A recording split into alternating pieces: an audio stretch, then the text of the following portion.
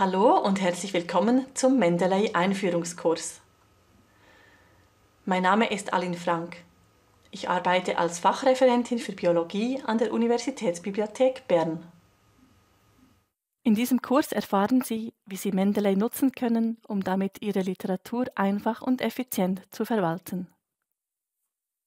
Der Kurs gliedert sich in vier Teile. Wir starten nun mit einer kurzen Einführung, danach kommt ein Teil zum Sammeln der Referenzen, zum Verwalten der Referenzen und schließlich zum Zitieren im Text.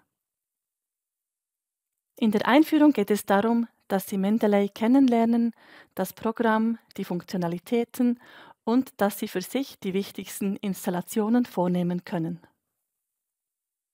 Was kann Mendeley?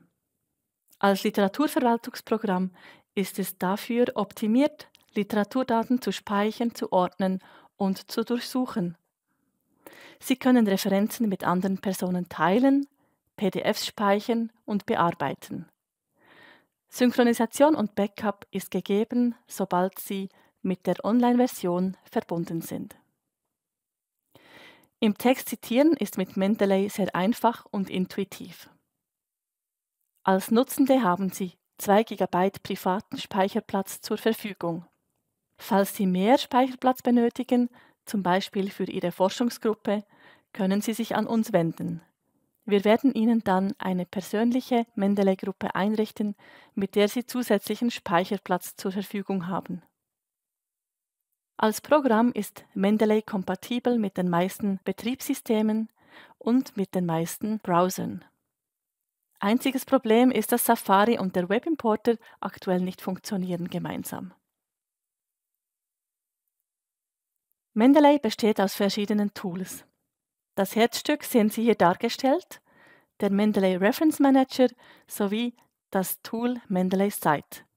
Damit können Sie die Referenzen verwalten und zitieren im Text. Die entsprechenden älteren Versionen dieser beiden Tools, der sogenannte Mendeley Desktop und das Citation Plugin, werden aktuell abgelöst. Den Webimport benötigen Sie, um Referenzen aus dem Internet zu importieren. Die Zusammenarbeit wird über das Bilden von Gruppen ermöglicht. Und falls Sie einen Zitierstil ganz individuell anpassen möchten, dann können Sie dies über den sogenannten CSL-Editor tun. Falls Sie mehr Informationen zum CSL-Editor benötigen, können Sie den entsprechenden Kurs der UB Bern dazu besuchen. Zum Mendeley Reference Manager gibt es zwei Versionen. Hier sehen Sie zum einen die Desktop-Version, zum anderen die Web-Version. Beide Versionen sind sehr ähnlich im Outline und in den Funktionalitäten. Sobald Sie Internetverbindung haben, haben Sie die Möglichkeit, die beiden Versionen zu synchronisieren. Tatsächlich geschieht dies automatisch. Nun starten wir mit dem Erstellen des Accounts. Sie können dies hier auf dieser Webseite tun, Create a Free Account, Sie nutzen Ihre E-Mail-Adresse, die Sie auch sonst im universitären Kontext nutzen. Es ist nicht nötig, sich über Ihre Institution separat anzumelden, da aktuell die Uni Bern keine speziellen Features in Zusammenarbeit mit Mendeley bereitstellt.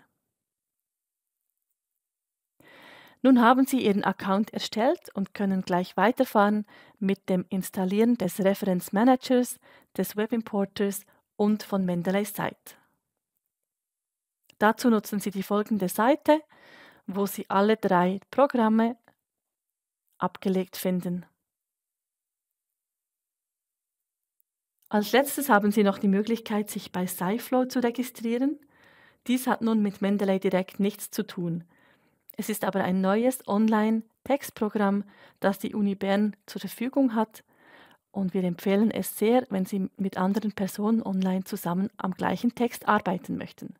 Sie haben dort auch die Möglichkeit, eine direkte Verbindung zu Ihrem Mendeley-Account zu erstellen. In Ihrem Mendeley-Account können Sie nun noch persönliche Einstellungen vornehmen. Unter Privacy Center finden Sie diese Möglichkeiten. Sie können sich da zum Beispiel Nachrichten abbestellen.